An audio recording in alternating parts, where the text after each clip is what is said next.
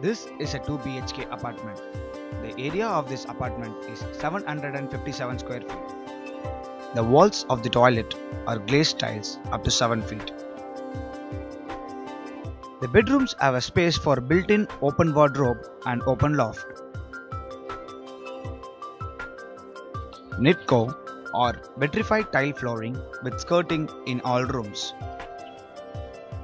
The windows are country wood frame and glazed shutter with MS grill. The kitchen counters are made out of granite with a stainless steel sink. Teakwood frame with teakwood panel doors for the main entrance.